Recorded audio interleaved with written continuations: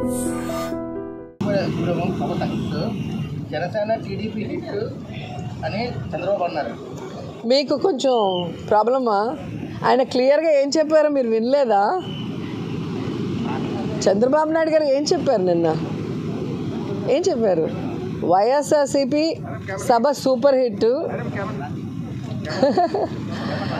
వైఎస్ఆర్సిపి సభలు super hit. Telugu Desam party Janasena meetings ఫట్ అని ఆయనే చెప్పారు సిబిఎన్ గారు. మీరు విన్నారా లేదా నాకు అర్థం కావట్లేదు. సో ప్రజలు స్పష్టంగా ఉన్నారు. ఎవరైతే వాళ్ళకి అభివృద్ధి సంక్షేమాన్ని అందిస్తారో మళ్ళీ వాళ్ళే అధికారంలోకి రావాలని కోరుకుంటారు.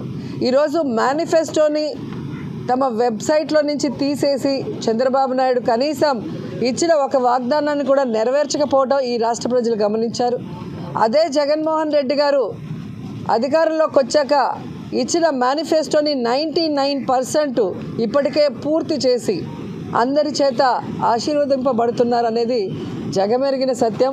మీరు ఏ వార్డులోకైనా ఏ విలేజ్కి వెళ్ళినా కూడా అర్హుడైన వాడు ఏ పార్టీ వాడైనా ఏ కులం వాడైనా ఏ మతం వాడైనా వారికి అన్ని సంక్షేమం అభివృద్ధి అందుతుందా లేదా అనేది మీరు వెరిఫై చేస్తే మీకే అర్థమైపోతుంది.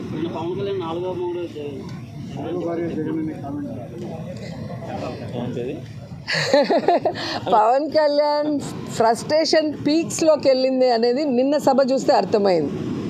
ఈరోజు పవన్ కళ్యాణ్ తెలుసుకోవాల్సింది ఆవేశంగా ఊగితేనో గట్టిగా అరిసి మాట్లాడితే ఓట్లు పడతాయంటే ఆర్ నారాయణమూర్తి గారు ఎప్పుడో ప్రధానమంత్రి అయి ఉండేవారు.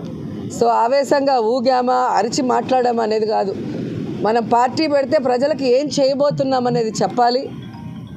ఆ అధికారంలో వచ్చే క్రమంలో ప్రతిపక్ష నాయకుడిగా ఏం చేశామనేది ఇక్కడ ప్రజలందరూ కూడా గమనిస్తారు. పార్టీ పెట్టి ఎన్నేళ్ళయింది? దాదాపుగా జగన్ గారు పార్టీ పెట్టిన దానికి పవన్ కళ్యాణ్ పార్టీ పెట్టిన దానికి వన్ ఇయర్ తేడా ఉంటుంది అంతే. మరి ఈరోజు జగన్మోహన్ రెడ్డి గారు నూట యాభై ఒక్క సీట్లతో తిరుగులేని ముఖ్యమంత్రిగా ప్రజల ఆశీస్సులతో ఎలా అయ్యాడు? ఊరికే అయిపోలేదుగా? మరి నువ్వు కనీసం రెండు చోట్ల నించుంటే రెండు చోట్ల కూడా ఎమ్మెల్యేగా గెలవలేకపోయావు అంటే అర్థం చేసుకోవాలి. ఈరోజు సిగ్గుచేట ఏంటంటే ఒక పార్టీ ప్రెసిడెంట్గా ఉండి ఇరవై నాలుగు సీట్లకే పరిమితం అయిపోయి మళ్ళీ క్యాడర్ని తిడతాడు. మనకు ఎక్కడుందయ్యా బూత్ కమిటీలు? మనకు ఎక్కడుందయ్యా మండల కమిటీలు? ఎవరండి డిజైన్ చేయాలి? మండల కమిటీలను ఎవరు ఏర్పాటు చేయాలి? బూత్ కమిటీలను ఎవరు ఏర్పాటు చేయాలి? పార్టీ ప్రెసిడెంట్ చేయాలి. నువ్వు పార్టీ ప్రెసిడెంట్ అని పేరుకే తప్ప ఏ రోజైనా పార్టీ నిర్మాణ పనులు చేసావా? నీ తప్పుని ఈరోజు కార్యకర్తల మీద జన సైనికుల మీద రుద్దాలని నీ ఫ్రస్ట్రేషన్ని చూపించడం అనేది సిగ్గుచేటు. ఈరోజు ముష్టి ముప్పై సీట్లు కూడా తెచ్చుకోలేని నువ్వు నిన్న జగనన్నని అతక్ పాతాలానికి తొక్కుతానంటున్నావు. నువ్వు చంద్రబాబు నాయుడు దగ్గర ఊడిగం చేస్తూ ఈరోజు అధహ పాతాళానికి వెళ్ళావు అనేది నిన్న మీటింగ్తో స్పష్టంగా అర్థమైపోయింది మేడం ఈ ఎమ్మెల్యే క్యారెట్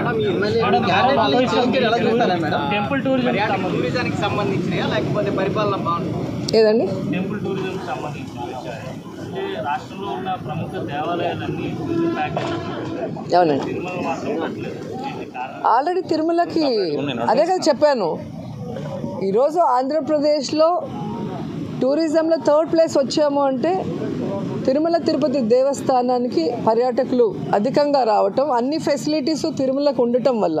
సో అదే క్రమాన్ని రాష్ట్రమంతా కూడా ఉండే ముఖ్యమైన టెంపుల్స్ అన్నిటినీ కూడా ఆ విధంగానే పర్యాటకులు వచ్చే విధంగా ఈరోజు ఈ ప్యాకేజెస్ అనేది డిజైన్ చేయడం జరిగింది.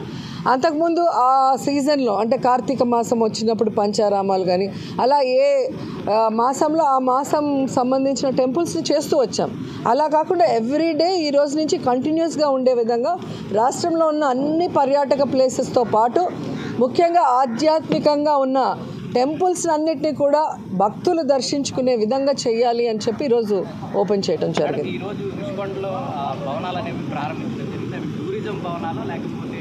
మా పరిపాలన రాజధానిలో భాగంగా సీఎం ఉండబోతున్నారు అనేది ఒక త్రీ కమిటీ కూడా ఇచ్చింది. ఈరోజు ఋషికొండలో ఆల్రెడీ హరిత రెసార్ట్స్ అని చాలా పాతవి ఉండేవి. వాటి ప్లేస్లో అత్యంత ఆధునీకరించి ఈరోజు వరల్డ్ క్లాస్ లెవెల్ అని చెప్పచ్చు. ఈరోజు ఏడు బిల్డింగ్స్ని నిర్మించడం జరిగింది. అండ్ చాలా శుభదినం ఈరోజు. మంచి టైంలో దాన్ని గృహప్రవేశం కూడా చేయటం జరిగింది. యాక్చువల్గా టూరిజం కోసం అన్ని పర్మిషన్స్ తీసుకొని చాలా అద్భుతంగా ఏడు భవనాల్ని నిర్మించడం జరిగింది. కానీ ఈ మధ్య త్రీ మెన్ కమిటీ ముఖ్యమంత్రి గారు వస్తే మరి పార్టీ కార్యాలయంగా ఎక్కడ ఉంటే బాగుంటుంది? అంటే ప్రభుత్వంలో భాగమే ముఖ్యమంత్రి అంటే పర్సనల్గా కాదు కదా. సో ముఖ్యమంత్రి గారు ఎక్కడ ఉంటే బాగుంటుంది? ఎక్కడి నుంచి పరిపాలిస్తే బాగుంటుంది అన్న క్రమంలో త్రీ మెన్ కమిటీ వైజాగ్లో ఉన్న అన్ని ప్రదేశాలని కూడా సందర్శించారు. దాంట్లో ఇక్కడ ఉంటే బాగుంటుంది అని రిషికొండని ఫైనలైజ్ చేయడం జరిగింది. సో ఇప్పుడు జగన్మోహన్ రెడ్డి గారు డెసిషన్ తీసుకోవాలి. అక్కడి నుంచి పరిపాలించాలా లేదా వేరే ప్లేస్ నుంచాలి జగన్మోహన్ రెడ్డి గారు అది డిసైడ్ చేస్తే ఇక్కడి నుంచి చేస్తే బాగుంటుంది అని రిషికొండ పరి రిషికొండ నుంచి మరి క్యాంప్ ఆఫీస్గా పరిపాలన స్టార్ట్ అవుతుంది. లేదంటే టూరిజం స్పాట్గానే అది కంటిన్యూ అవుతుంది. టూరిజం రెసార్ట్గానే కంటిన్యూ అవుతుంది.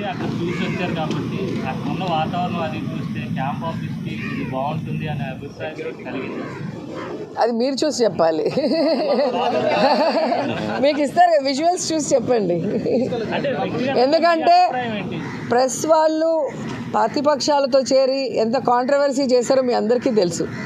అంత కాంట్రవర్సీ చేయాల్సిన అవసరం కూడా లేదు. సో అందుకే మీకు విజువల్స్ వస్తాయి. మీరు చూడండి చూసి మీరు డిసైడ్ అవ్వండి. ఆ మాసం సంబంధించిన టెంపుల్స్ని చేస్తూ వచ్చాం. అలా కాకుండా ఎవ్రీడే ఈ రోజు నుంచి కంటిన్యూస్గా ఉండే విధంగా రాష్ట్రంలో ఉన్న అన్ని పర్యాటక ప్లేసెస్తో పాటు ముఖ్యంగా ఆధ్యాత్మికంగా ఉన్న టెంపుల్స్ అన్నిటినీ కూడా భక్తులు దర్శించుకునే విధంగా చేయాలి అని చెప్పి ఈరోజు ఓపెన్ చేయడం జరిగింది.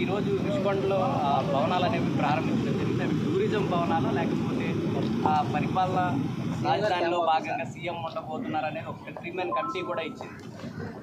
ఈరోజు ఋషికొండలో ఆల్రెడీ హరిత రెసార్ట్స్ అని చాలా పాతవి ఉండేవి. వాటి ప్లేస్లో అత్యంత ఆధునీకరించి ఈరోజు వరల్డ్ క్లాస్ లెవెల్ అని చెప్పచ్చు. ఈరోజు ఏడు బిల్డింగ్స్ని నిర్మించడం జరిగింది. అండ్ చాలా శుభదినం ఈరోజు మంచి టైంలో దాని గృహప్రవేశం కూడా చేయటం జరిగింది. యాక్చువల్గా టూరిజం కోసం అన్ని పర్మిషన్స్ తీసుకొని చాలా అద్భుతంగా ఏడు భవనాల్ని నిర్మించడం జరిగింది. కానీ ఈ మధ్య త్రీ మెన్ కమిటీ ముఖ్యమంత్రి గారు వస్తే మరి పార్టీ కార్యాలయంగా ఎక్కడ ఉంటే బాగుంటుంది? అంటే ప్రభుత్వంలో భాగమే ముఖ్యమంత్రి అంటే పర్సనల్గా కాదు కదా. సో ముఖ్యమంత్రి గారు ఎక్కడ ఉంటే బాగుంటుంది? ఎక్కడి నుంచి పరిపాలిస్తే బాగుంటుంది అన్న క్రమంలో త్రీ మెన్ కమిటీ వైజాగ్లో ఉన్న అన్ని ప్రదేశాలని కూడా సందర్శించారు. దాంట్లో ఇక్కడ ఉంటే బాగుంటుంది అని రిషికొండని ఫైనలైజ్ చేయడం జరిగింది. సో ఇప్పుడు జగన్మోహన్ రెడ్డి గారు డెసిషన్ తీసుకోవాలి. అక్కడి నుంచి పరిపాలించాలా లేదా వేరే ప్లేస్ నుంచాలి జగన్మోహన్ రెడ్డి గారు అది డిసైడ్ చేస్తే ఇక్కడి నుంచి చేస్తే బాగుంటుంది అని రిషికొండ పరి రిషికొండ నుంచి మరి క్యాంప్ ఆఫీస్గా పరిపాలన స్టార్ట్ అవుతుంది. లేదంటే టూరిజం స్పాట్గానే అది కంటిన్యూ అవుతుంది. టూరిజం రెసార్ట్గానే కంటిన్యూ అవుతుంది.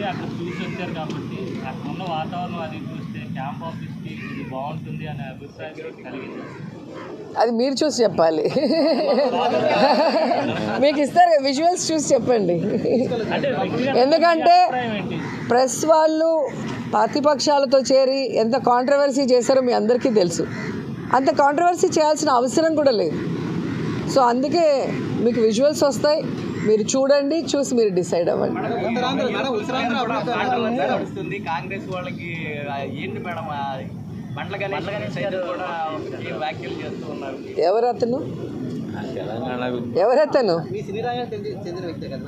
ఎవరో సెవెన్ ఓ క్లాక్ బ్లేడ్తో కోసుకొని చచ్చిపోతానన్నాడు ఆయనేనా? ఏం చెప్తాం వాళ్ళ గురించి కానీ?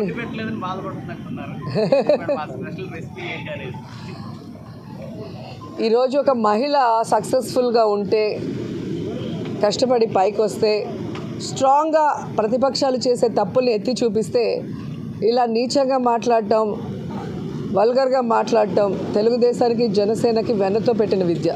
సో మహిళలు అందుకే వాళ్ళని అసహించుకున్నారు అనేది కూడా మీరు గమనించాల్సిన విషయం. Experience the divine with ease అన్నాం అందుకే. సో మీరు ఒక ఒకరు ఒక గుడికి వెళ్ళి మళ్ళీ ఇంకో జిల్లాలో ఇంకో గుడికి వెళ్ళాలంటే మీకు తెలుసు ఎంత కష్టం.